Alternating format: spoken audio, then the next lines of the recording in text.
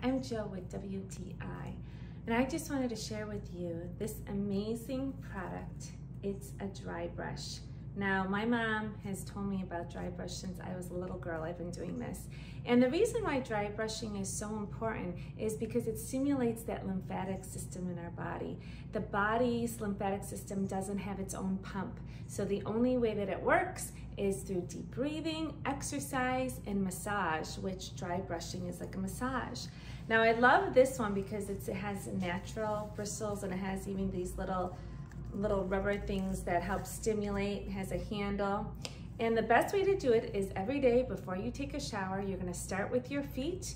You're gonna brush your feet at the bottom and then go all the way up the legs towards the heart. And then you're gonna go to the palms and just dry brush all the way down, all the way into that lymph.